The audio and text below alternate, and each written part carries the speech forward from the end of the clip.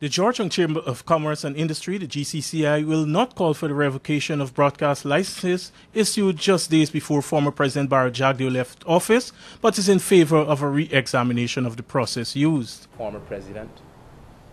um, I wouldn't call or we wouldn't call for the revocation of those licenses that were issued, but we would call for a review,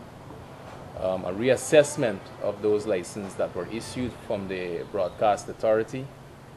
uh, to take a second look and to determine based on a set of criteria that they have based on the, uh, the act and the law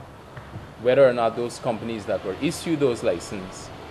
uh, would have done so on fair and equitable terms in terms of meeting all the requirements of the license. And also to review some of the other applicants.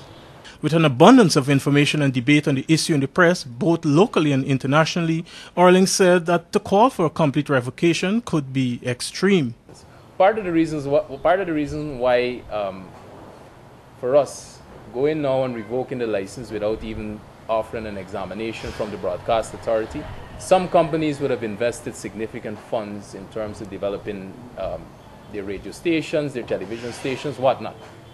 And it was no fault of theirs whether or not the former president acted transparently or accountable. Um, the fault lies with the state and we don't penalize or we shouldn't penalize the private sector companies who've already gone out there and invested significant sums for that mistake because I'm pretty sure if it happens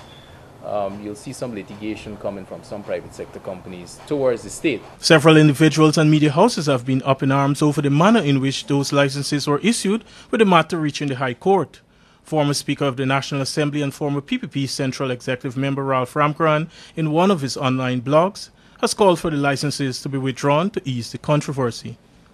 For Capital News, Raul Collins.